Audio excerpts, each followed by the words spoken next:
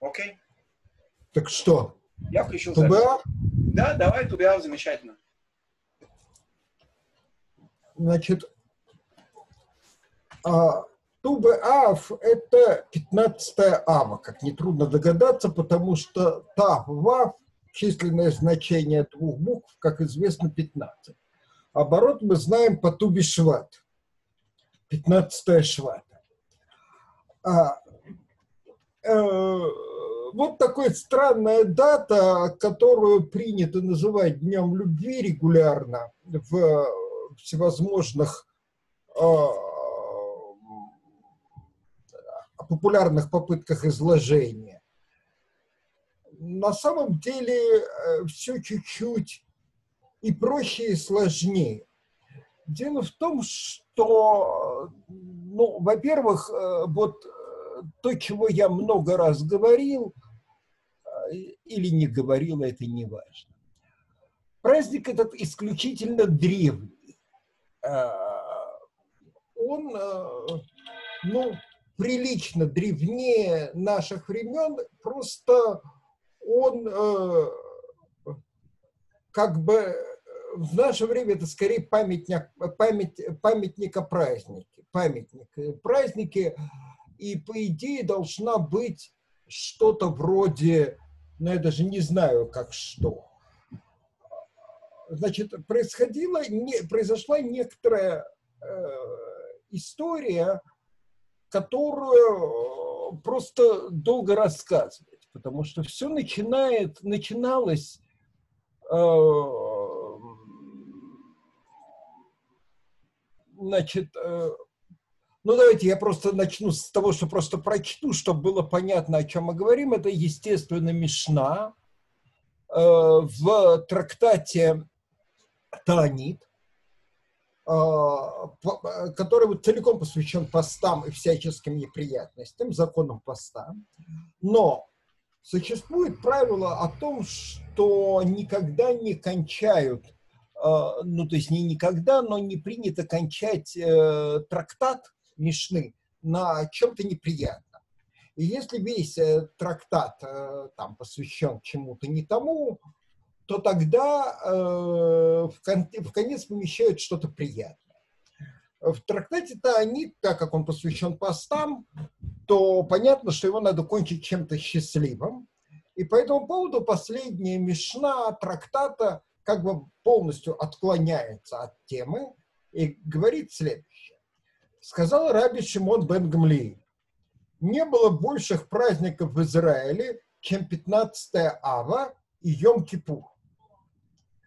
В них дочери Иерусалима, ну, э, слово Иерусалим в данном случае, э, значит, или дочери Израиля, это зависит от версии, какая у нас, выходили в белых одеждах, одолженных у других, чтобы не было стыдно тем, у кого нет. Дочери Израиля или Иерусалима выходили водить хороводы в садах, и что они говорили? Парень, подними глаза и посмотри, что ты, кого ты себе выбираешь. Не гляди на красу, а гляди на семью. Обманчива прелесть, суетна красота, жена, боящаяся Господа, прославлена. И так далее. Значит, в первую очередь, что сразу должно а, прийти на ум, когда начинаешь такое читать, а, это где у нас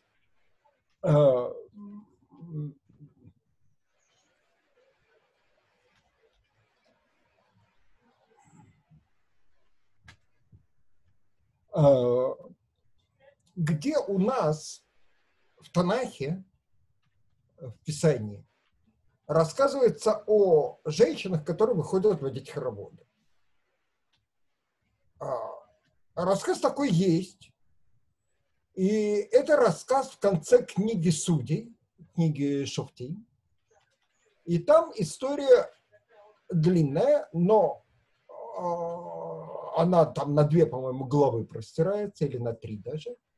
Значит, э, краткое содержание, что э, в результате э, гражданской войны между коленами Израиля и коленом Беньямина, колено Израиля собрались, остальные, кроме колена Беньямина, собрались и объявили проклятие, сказав, что они своих дочерей не дадут ни за кого из колена Беньямина.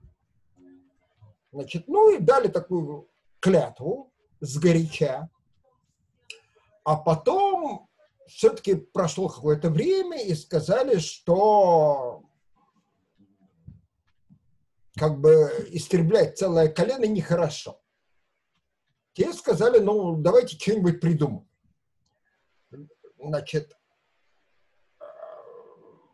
на что последовало, но мы же поклялись, что не дадим им жены с дочерей нашим. Э, проклятием проклят всякий, кто отдаст дочь в жены Беньямину.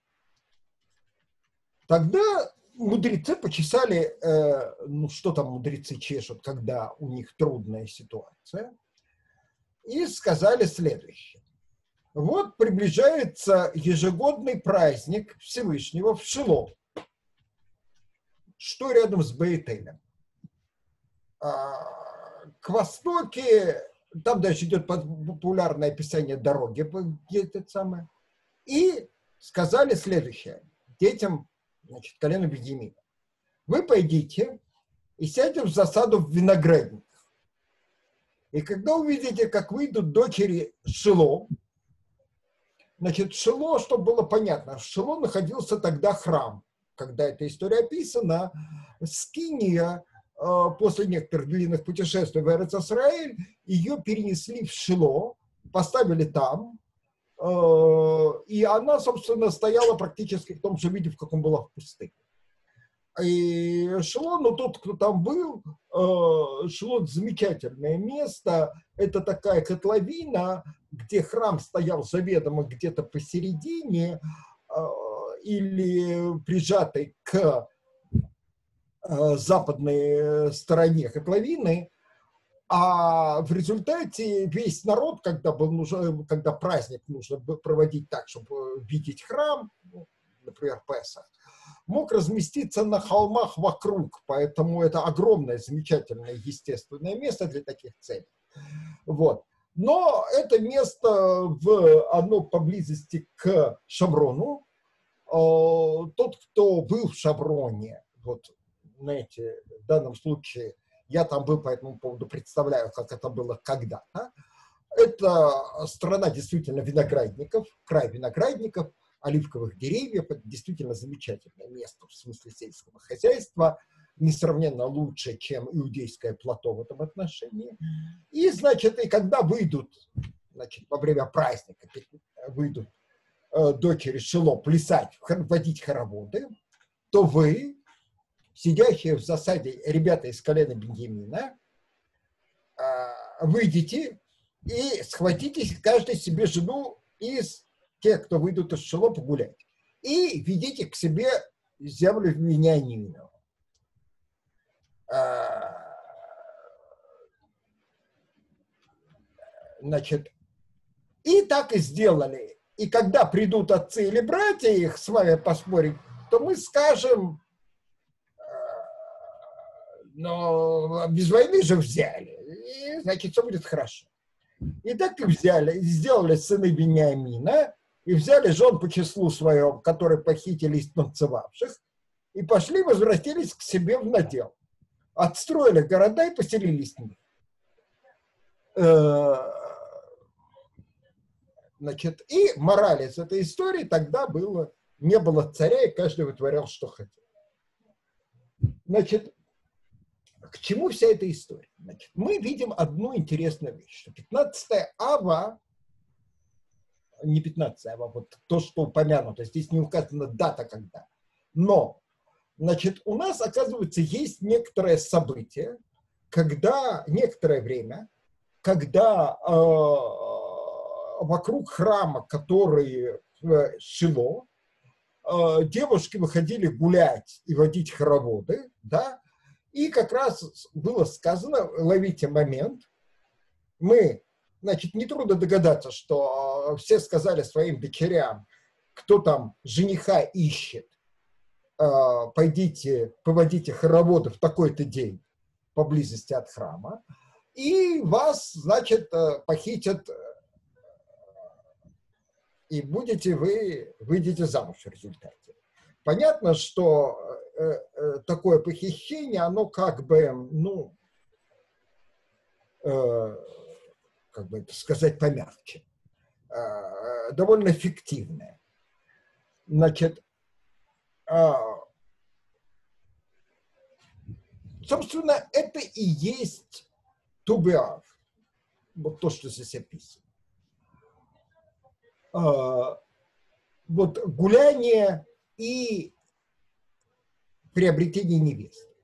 Теперь вот, когда мы сравниваем смешной, обратите внимание, что вокруг Иерусалима, но дело в том, что некоторые говорят не только вокруг Иерусалима, это проходило, а почти всюду.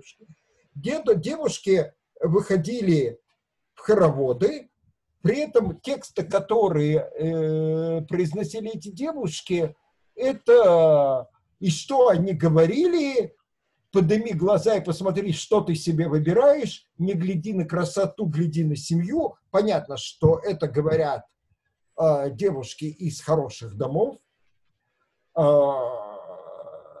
обманчива прелесть, суетна красота, жена, боящаяся Господа прославлена, это, конечно, цитата из Мишлей, или воздайте ей по плодам трудов ее, но это оттуда же, это Эшетхайль, конечно же, вот этот текст Эшетхайль, который там э, женатые евреи знают наизусть, потому что каждую субботу читает его своим женам. Ну, там, не рассматриваем комментарии, которые приняты к этому месту делать. А, значит, Э, то есть э, праздник такой, вот, то есть то, что мы видим, то, что описывает Рабан Шимон бен Гамлиэль, это праздник, вот такой специфический народный праздник. Нетрудно догадаться, что вот этот народный праздник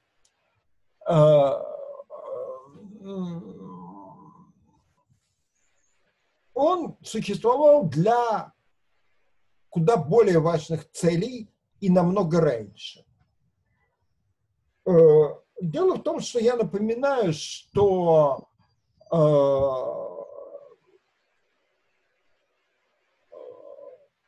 течение длинного времени до царя Соломона в народе Израиля было обычай, э, который был ну, довольно сильный, выходить замуж только внутри своего колена. Э, дело в том, что при выходе замуж за другое колено всегда существовал риск перехода из земель в другое колено. В результате все опасались довольно простой вещи. Вот представьте себе, что есть анклав, мое колено, а внутри него образуется анклав другого колена. И э, понятно, что вот э, эта политика не выходить замуж в другое колено, она хороша для сохранения самобытности да, э, каждого колена. Это то, чего сегодня очень любят говорить про самобытность, но при этом э, проблема в том, что э, такая политика не позволяет народу объединяться в единое целое. Потому что что было? Вот политически в тот момент была некоторая очень простая вещь. Раз там э, какое-то время э, в Шило, именно в Шило, тогда собирался глава колен, э, заключали там э, и обсуждали текущие дела. Колены между собой были связаны э, скорее военным образом, чем как-то друг друг, э, другим. Они имели между собой обязательства военной помощи, но не очень, это еще не твердо слитые друг с другом вещи. Э, и получилось так, что 12 колен Израиля на момент, когда был храм Шило, объединялись, ну, я бы сказал, политически, беда в том, что это политическое объединение недостаточно для объединения народа. Вот это некоторый важный момент, который надо понимать. Вы можете, знаете, время от времени в истории случались совершенно фантастические э, государственные образования, например, которые не имели общей границы. Я уж не помню, там Египет с кем-то объединился в свое время, не имея общей границы, правда, развалилось.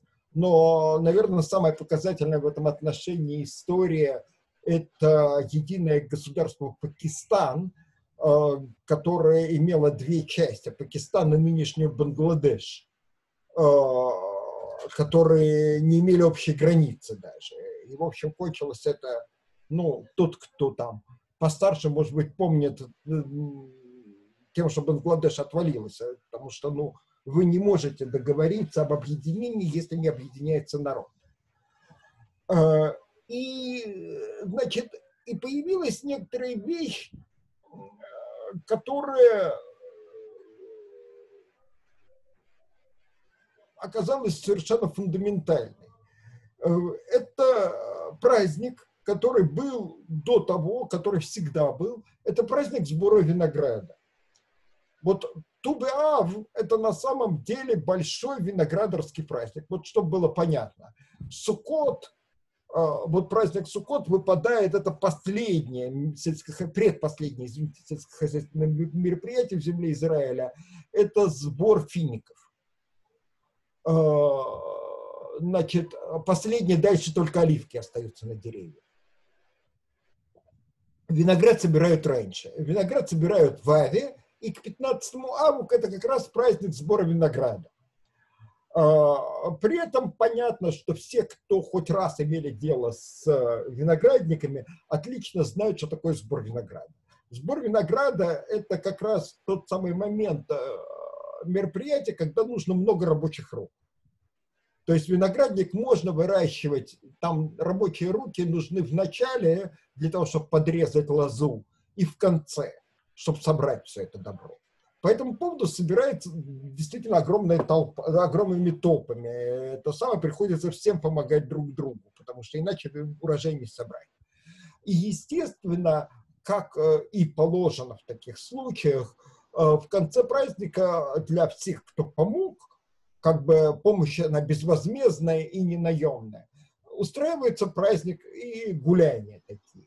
А так как мероприятие скорее молодежное, чем, ну давайте какую-нибудь аналогию, а, вот вы, я не знаю, там для тех, кто живет в Израиле, довольно часто кидается клич, э, нет ли желающих поехать на сбор вишни, на сбор клубники, и там толпа народу собирается и отправляется, ну, обычно на Голланд, а, на Голланд собирать эту самую вишню и клубнику на самом деле это вот такое. И понятно, что так как туда едет молодежь в основном, да, платят натурой, сколько увезете того, что собрали. А, вот, то такое, такое же мероприятие, такого же типа мероприятия проходило и при сборе. Э, винограда. Поэтому это праздник, собственно, ну вот типичный сельский праздник. Но он возник сам по себе, и в этот день именно в этот день э, было решено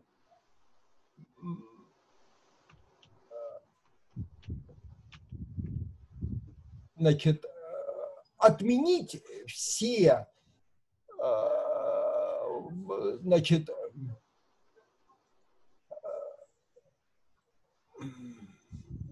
отменить запрет на межколенные браки. То есть на самом деле вот эти гуляния в Шило, они и были нужны, и были использованы, они возникли до этого. Они возникли именно для того, чтобы э, народ мог жениться. Э, значит, э, в результате Шило, как раз именно там, вот эта вот история с коленом Беньямина положила просто начало. Если в начале это просто гуляние в честь окончания э, сбора винограда, и э, старейшины Израиля воспользовались моментом и предложили колену Беньямину, чтобы выйти из сложного положения, не нарушить э, клятву и в то же время сохранить колено, э, похищать себе там невест, то именно тогда, через некоторое время, было э, постановлено, э, что в этот день был снят окончательно запрет на браки между коленами. Э, то есть на самом деле как раз Туби, Туби Ав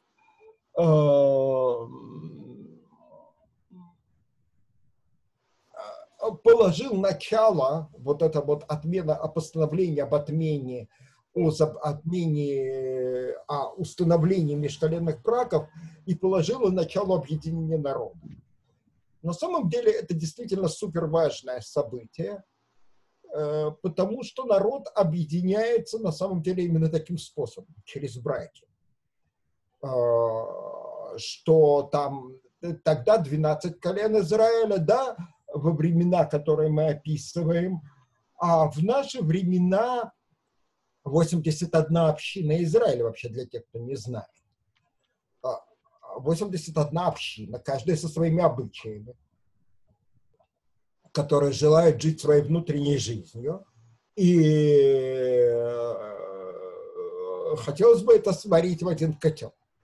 Вы можете долго рассказывать по телевизору о том, как хорошо жить все вместе и как надо уважать э, обычаи каждого из общин. Но все это будет чистая пропаганда и политика. До тех пор, пока это не сольется через браки, а, я не знаю, но вот у меня, например, это очень в семье хорошо и красиво. У меня одна дочка вышла замуж за Именита, а вторая за Иракса. Да. А, Ура! Ирак. Выходит из, ну, его семья из Ирака. Я сказал ура!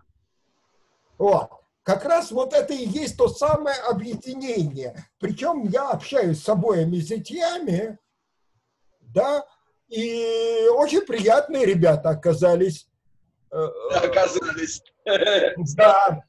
А, более того, э, как мне время от времени стороной передает, что Шлома, Шломи, это один из зятьев, который иракский говорит, что удивительное дело, но оказывается у этих ашкеназов даже еда обладает каким-то вкусом, потому что они были до сих пор убеждены в том, что ашкеназская еда абсолютно безвкусная. Тут он познакомился. А, значит, ну и так далее. То есть на самом деле вот это, это, когда говорят день любви, на самом деле это день единства. Только единство, оно э, э, такое э, не,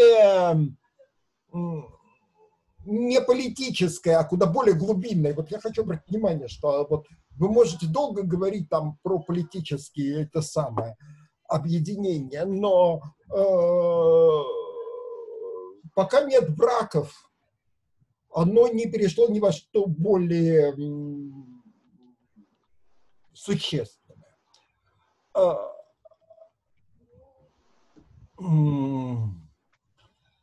и здесь, безусловно, для меня, вот для меня э, эта история вот именно с днем любви, как говорят, любовь тут рядом не лежала во всей этой истории. Во всей этой истории лежит действительно очень важная, с моей точки зрения, вещь э, очень важная, потому что как бы это объединение, которое происходит не на уровне э, трепа э, политических пройдох, ребята, давайте жить дружно, а это то самое объединение, которое идет снизу. Это тот самый плавильный котел. И Тубиав, он, вот то, что рассказал Рабан Шимон бен Гамлиэль, он как раз вот про это – а, он именно вот такое объединение. Более того, я хочу заметить, что когда перечисляются события 15 а, ава, то, то еще рассказывают еще одну вещь. Там еще в это время произошло еще одна очень крупная история. А, другая история, тоже связанная с Древним Израилем, а именно история, которая была связана с распадом царств на Иудею и Израиль. Значит, Иудея – это Иерусалим и южнее, а Израиль – это вот, ну, приблизительно, давайте так, приблизительно по дороге нынешний Квишмис Парыхат, да, по дороге от Тель-Авива к Иерусалиму, вот где-то здесь проходит граница. А поднимается до Иерусалима, и оттуда идет по дороге на Маале Думим и к Ерихону. Вот, вот эта дорога, это как раз приблизительно разделение э, на два царства. Это как раз где-то приблизительно, ну, приблизительно, граница двух царств. Иудейского э, южного и израильского севера. Э, здесь вот э, о том, что такое политика и что такое э, не политика. Что такое политика и религия. Э, Ервам бен Ват, царь Израиля, Северного царства, у него были, по всей видимости, мудрые советники, которые сказали действительно важную вещь. Я как раз прекрасно понимаю политически, что произошло. Вот ты отделился от Иудеи. Но храм находится в Иудее. На самом деле, да, формально Иерусалимский храм формально считается не принадлежит ни одному из колен, и Иерусалимский храм экстерриториален. Вот это правило есть такое, оно со времен незапамятных, что это именно экстерриториальный э, анклав, он не принадлежит ни Иудеи, ни Беньямину, а находится он где-то вот на границе Иудеи и Беньямина. А, значит, а, и правило экстерриториальности всегда было. Но на практике Иерусалимский храм, граница проходит несколько северней, и Иерусалимский храм э, территориально находится скорее внутри Иудеи, а формально после разделения храм столицей Иудеи был Иерусалим, и, соответственно, храм принадлежал Иудеи, а, и Израиль как бы был без храма. Ерван бен Ват понял тяжелую проблему, которая у него возникла что он, конечно, может объявить политически, что он отделен и не зависит от какой-то дурацкой иудеи. А, но при этом народ все равно ну, три раза в год, теоретически три раза в год, а, а но раз в год точно Песах все хотят, народ, особенно в приграничных зонах, будет э, совершать паломничество в храм. И в результате э, твой народ, который израильский, будет э, подвержен э, серьезной иудейской пропаганде. И с этим безобразием что-то надо делать. Тогда возникает э, чисто политическая идея, оформленная в религиозную. А именно, нам тоже нужен храм, говорит Ервам Бенват. Яровам Бенва. А, и строит тоже храм. А, вот теперь у меня некоторые трудности, что он построил технически, но то ли здание, то ли жертвенник, ну тогда большой общественный, но упоминается там некоторые детали его, поэтому думаю, что он построил здание именно. А, строит храм в Бейт-Эле. Бейт-Эль чтобы было понятно. Бейт-Эль упоминает Яков, вот место, где спит Яков, и говорит, что это врата небес, он произносит слово Бейт-Эль. Да? А, и понятно, что пропагандистски получается, что место храма должно быть Бейт-Эль.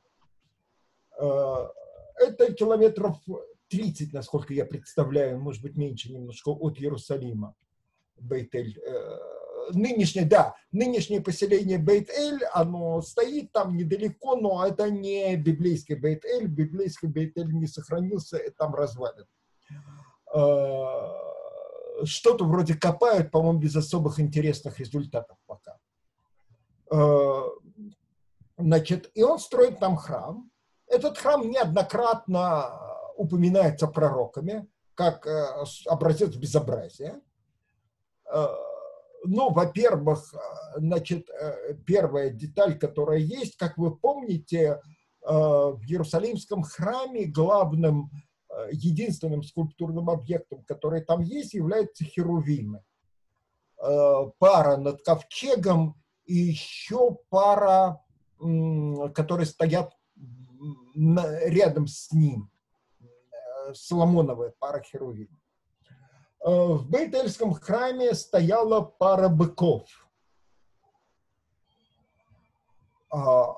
Но вот все тексты пророков, которые многократно обсуждают, многократно говорят про это дело, Бейтельский храм, никогда не обвиняют э, этот храм в том, что это идолопоклонство. Они говорят, что это безобразие, что храм, существующий в Бейт-Эле, незаконный, но никогда ни словом не упоминают что этот храм является местом поклонения чужим богам. То есть вот это важный момент. Хервам бен Ват строит храм Богу Израиля. Он не пытается построить храм какого-то идолища. В отличие, скажем, от э, Ахава или и его и Изабель, и, и Изевель, его жены, которые пытаются Э, вести поклонение богам каких-то других народов, этот даже в мыслях такого не строил, потому что у него была проблема не религиозная, а политическая. Он строит, значит, храм Бейт-Эле, устраивает там праздники. Более того, он вот ну, про политику, вот о том, что такое политика и религия, и именно он проводит еще один номер, и он упомянут э, прямо у пророков – он разводит календари. А именно, ну, календарь еврейский можно развести на два э, без больших проблем, а именно в какой-то момент ввести високосный год лишний. И по этому поводу Ерва в Израиле високосный год – добавление лишнего месяца, 13 месяца. Э, Ервам э, действует самым лобовым образом. Он разводит календари так, что праздники в Израиле и в Иудее становятся несовпадающими. Вот эта идея разъединения, где для того, чтобы отделиться политически, нужно отделиться религиозно. А, я не знаю, насколько цинично сейчас звучит то, что я говорю, но это было проделано. А, более того, он ставит на границе, особенно в пару недель перед праздниками э, ставит на границе с Иудеей особую стражу, которая э, следит за тем, что его народ, израильский народ, не ходил в Иудею на праздники. Вот это как раз вот это процесс разъединения. Кстати, вот после вот того, что я сейчас рассказал, наверное, э, все поняли, почему наши мудрецы так нервно относятся к любым номерам с календарями. А, и попытка любой секты, а, кстати, секты регулярно пытались проделать всевозможные номера с календарями и пытались доказать, что их календарь самый правильный, и ввести новый календарь, э, скажем, э, суд на это и в древности, и позже всегда реагировал очень нервно и очень резко. А, потому что попытка ввести любую реформу календаря не э, централизованную Верховным судом, это всегда попытка отделиться. И, скажем, э, кумранский календарь, который неоднократно много где упоминается, это, в общем, ясно, что это, за, что это такое, что это за попытка просто совершить явное безобразие. К тому же, э, я не знаю, современные ученые, я не знаю, откуда у них растет голова, а, потому что пытаются доказать, что это какой-то древний календарь кумранский, но он не имеет Рошхода лунного и это уже сразу делает все это подозрительным, потому что по мне очевидно из всего Танаха, что начало месяцев были лунными, и это очевиднее некуда. И это был отдельный праздничный день со всеми там многими особенностями праздничного дня. А, и, скажем, а, ну вот Рошходыш был вообще выходным, например, неоднократно упомянут у пророков, а, таким, ну, либо полувыходным но лавки, запертые в Рошходыш, упоминаются пророками регулярно. Вот. Но вот э, вся эта проделка как раз это попытка разъединить народ. А, и вот э, теперь э, есть Барайта, значит, Барайта – это э, традиция, которая не вошла в Мишну. То есть это древний текст, ну вот, э, ну чтобы было понятно, Мишна как таковая составлялась из записей намного древнее, чем Мишна. Это компиляция такая. Э, это либо чьи-то конспекты древние, а в некоторых случаях, э, например, в трактате Нагаим, можно ткнуть пальцем, еще в нескольких местах можно ткнуть пальцем, э, что это явно и храмовые вообще записи храмовых законов, то есть они на 150 лет минимум старше Мишны эти записи. Причем так, огромными блоками скопированы. Э, так вот, э, вот одна из таких записей, они сведены в несколько сборников, такие записи, описывает истории про то, как люди из Израиля во времена Ервама Бенвата э, пробирались в э, Иерусалимский храм. Э, причем как история, которая там рассказана, там приблизительно так. Когда они хотели принести бикурим, то есть первые плоды, понятно, первые плоды приносятся в период как раз вот, ну, где-то летом время приношения первых плодов, как известно, от Шивота до Хануки. Ну, Ханука во времена Германа Бенвата еще не существовала, но э, Ханука замечательна тем, что это конец сбора оливок. То есть вот первые плоды приносятся от, я не знаю, что там первые у нас плодоносят, но первый инжир появляется на самом деле где-то в районе Шивота значит, э, и до почти до зимы, когда собирают последние оливки. А, значит, и они, значит, когда хотели принести первые плоды, они, значит, собирали их в корзину большую, прикрывали всяким разным. И когда проходили мимо стражи, и стража со стороны Израиля, стражи, которая пыталась не допустить их, сразу вот что несете, они говорили, что вот мы несем инжир, э, чтобы спрессовать его там. Вот.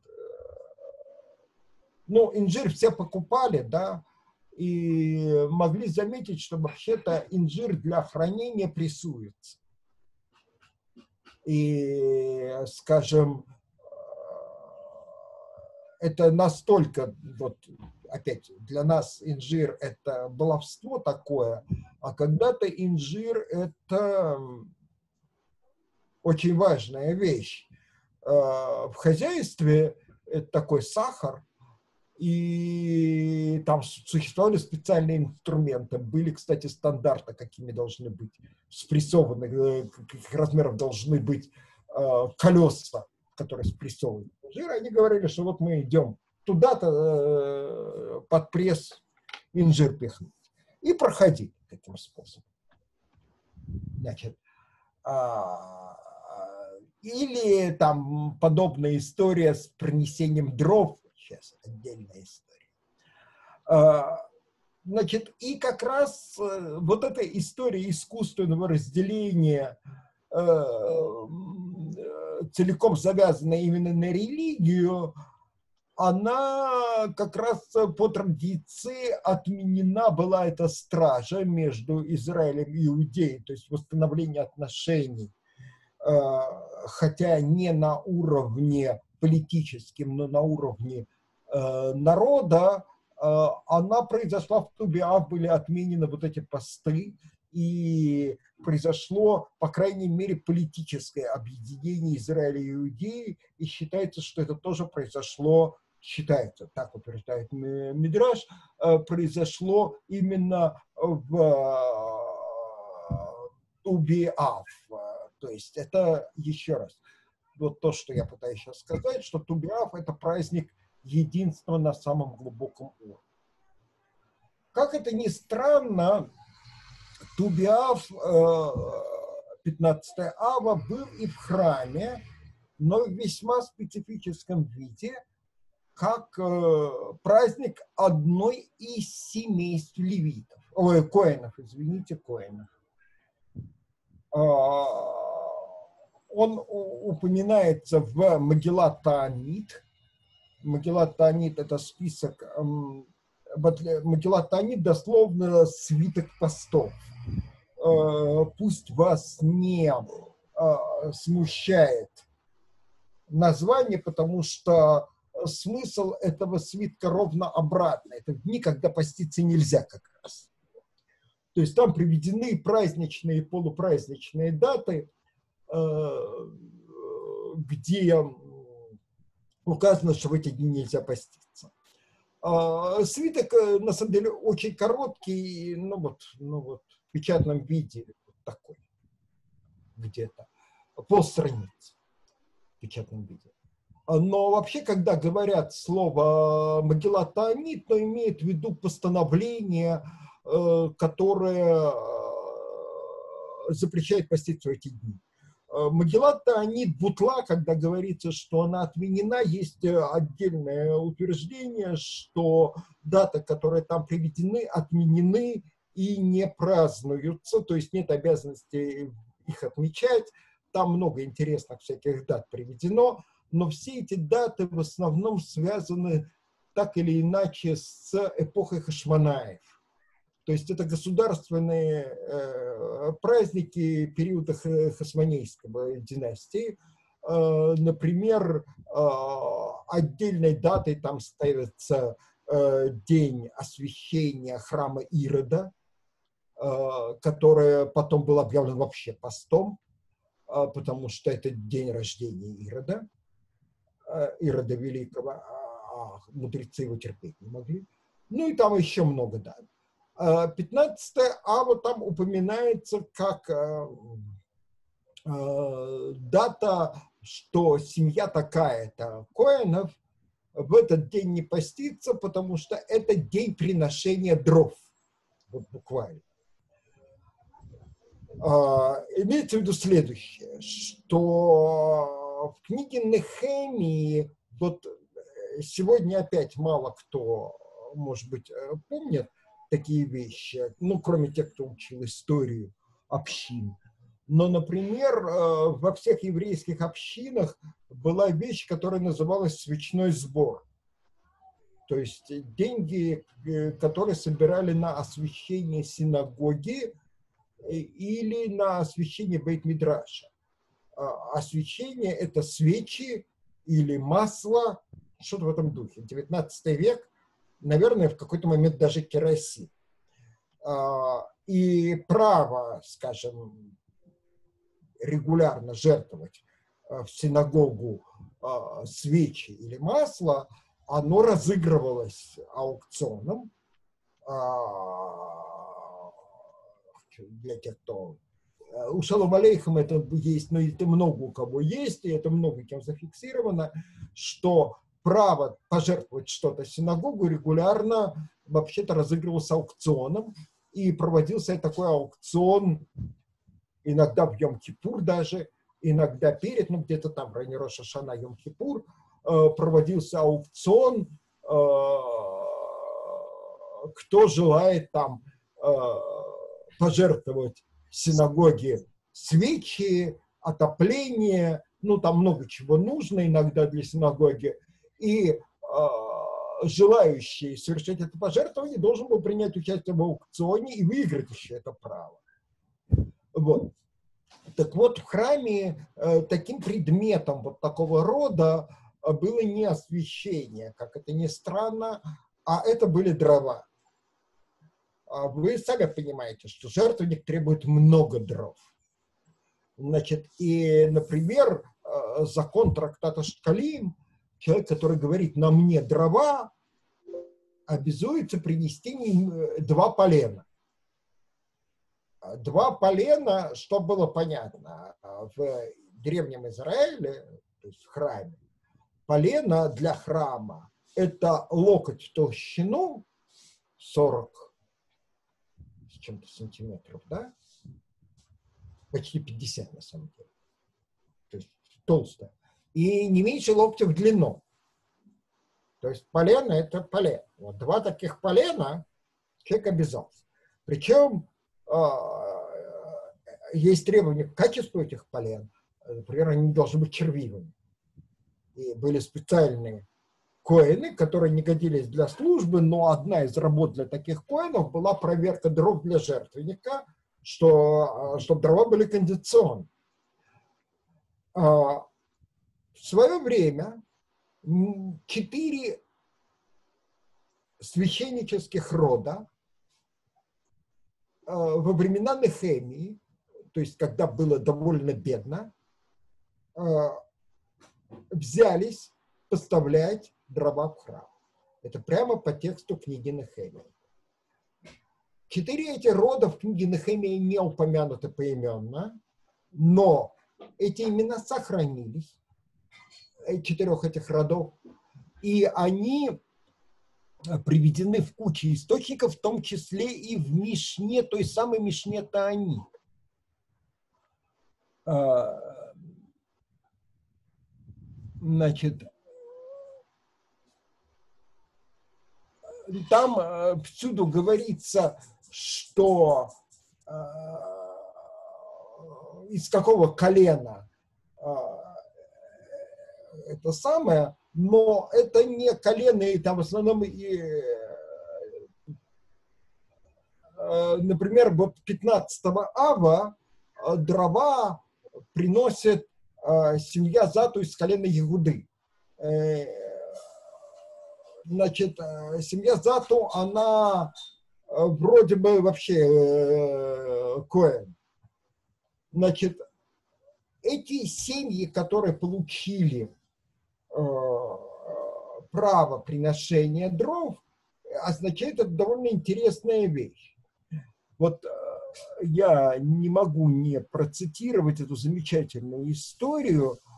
Э, значит, они получили право очень важное. Значит, дрова поставляют всех. Значит,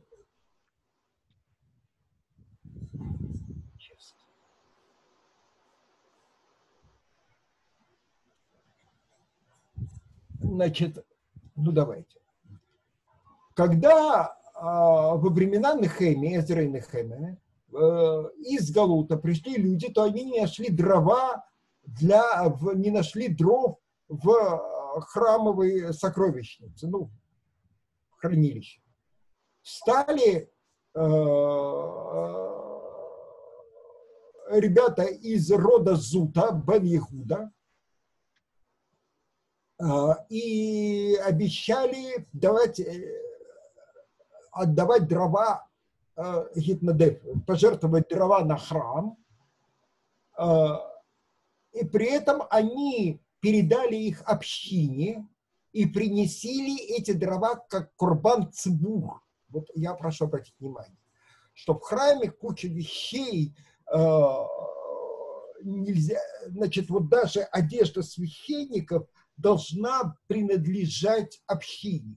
По этому поводу, например, вот матери коинов регулярно, и левитов тоже, э, но с левитами чуть-чуть по-другому, но вот с коинами. А рубаху, кутон, это хитон, э, леви, э, коинский, делали матери коинам. Но при этом, как прежде чем явиться в храм, происходило посвящение объявления, что эта рубаха принадлежит общине, что это от имени всего народа, она не частная. Так вот, с дровами точно то же самое. Семейство Бензату объявило, что это а, значит, это общественная вещь. Но а, вы представляете, какое было пожертвование, что было принято решение, что они имеют право жертвовать дрова на храм в любой день,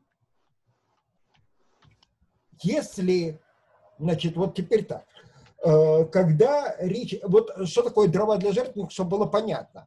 В утренней процессе жертвы томит, когда несут э, постоянную жертву, несут там части жертвы, ну, ежедневное от общества, э, несут вино и масло для этой жертвы и несут пару дров, пару поленьев для поленницы.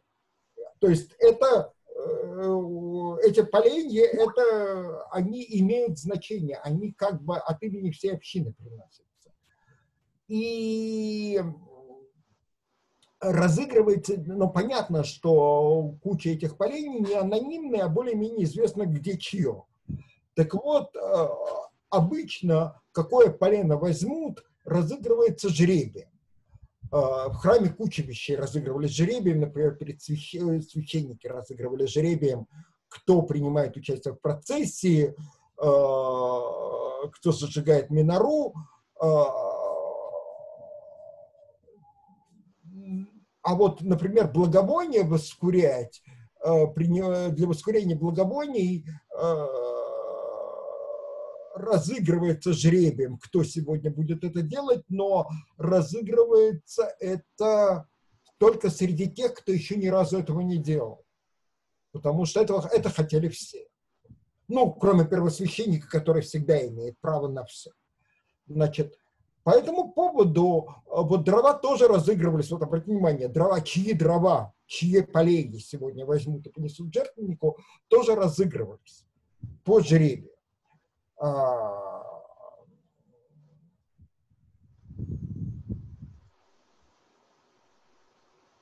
но а,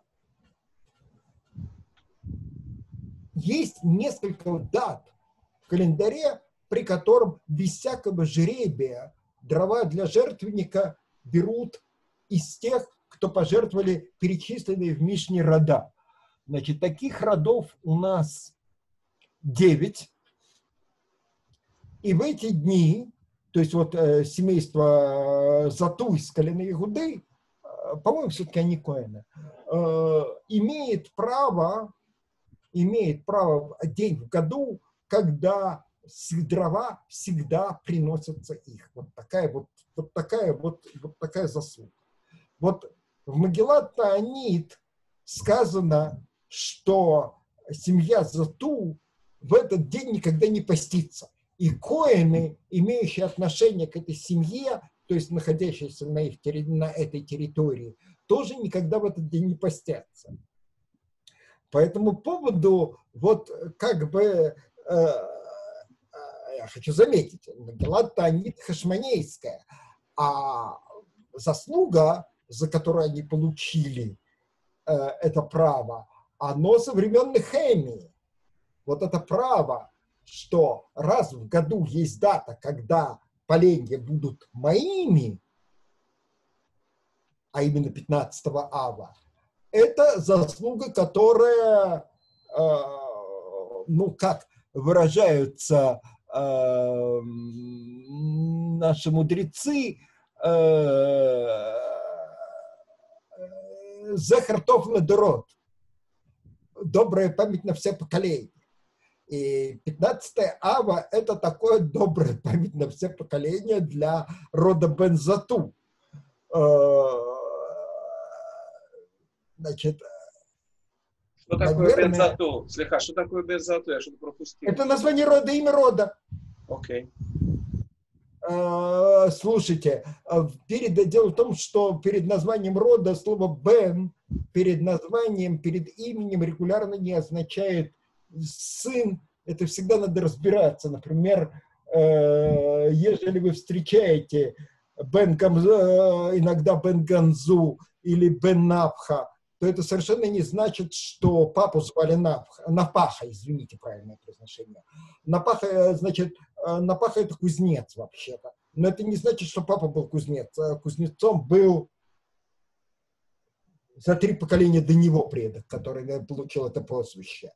Но когда говорят Бен Напаха, то имеется в виду не сын кузнеца, а кузнецов приблизительно. Вот, давайте вот так вот, да? А, это один из мудрецов Талмуда, он Напаха. А, но Шимон, по-моему, Напаха. Иуда Напаха. Э, Иуда Напаха. Но, или Бен, Иуда Бен Напаха. Но это не папу его так звали. Бен – это в данном случае указание принадлежности к роду. И не более того. Бен Зату – это указание названия рода э, в данном случае. И этот род, вот его заслуга, э, то, чего они получили со времен Нехемии, когда в трудный момент пожертвовали дрова, я подчеркиваю, дрова первосортные абсолютно, на жертвенник, как раз Тубишват – это для них такой вот семейный праздник, э, где, когда, причем праздник на уровне, когда запрещено поститься праздник признания заслуг прошлого, которые стоят на весь род на будущее. Вот. Э, и мне показалось, что э, это заслуживает упоминания в сегодняшний день о том, что есть неприходящие заслуги которые, за совершенный один раз. Да? Вот так. Вот это то, чего мне хотелось рассказать сегодня про ту Бишват. О, ту Биаф, извините, конечно же, э, автоматически. Потрясно. По-моему, было потрясно. Почему этот э, праздник так прижился в современном Израиле? Я могу сказать. Праздник приживется в современном Израиле в одном случае. И я настаиваю. Вы меня извините за мой цинизм. Но праздники приживаются, когда продавцам есть того доход. Вот почему во всем мире есть день Святого Валентина? Да? Потому что продавцы сердечек и открыточек, да, с этого имеют довольно много. Я вот всегда утверждал, что первая Илула надо объявить, как написано в Мишне Роша Шана, э, это Роша Шана Ле Бхейма, да, Новый год скота, первая Илула. Да-да. Нужно всячески пропагандировать, объявить, что это Новый год животных, да? А, вот давайте Тубишват.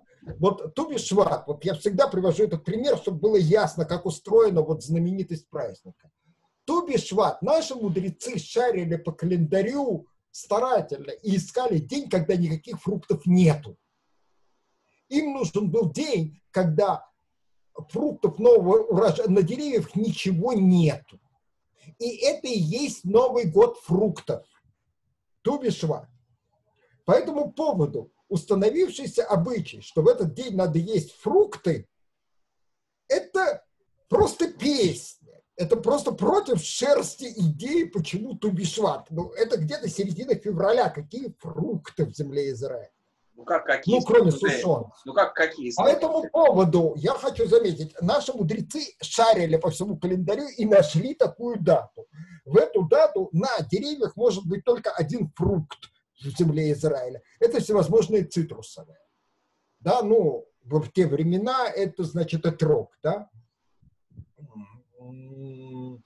Тем не менее, сегодня читаю с большим удовольствием про то, как в этот день надо съесть 30 фруктов, которыми славится земля Израиля, например, папаю, о папайя, которой славится земля Израиля. Э, и понятно, что продавцы сухофруктов этот день не дадут пройти во всех поколениях будет, потому что это их день. Это день продаж. Э, извините за цинизм.